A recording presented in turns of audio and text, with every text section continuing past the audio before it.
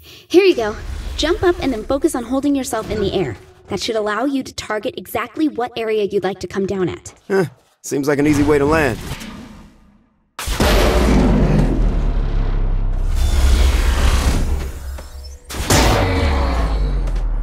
What about starting higher? The higher you are, the more damage you should cause around your landing point.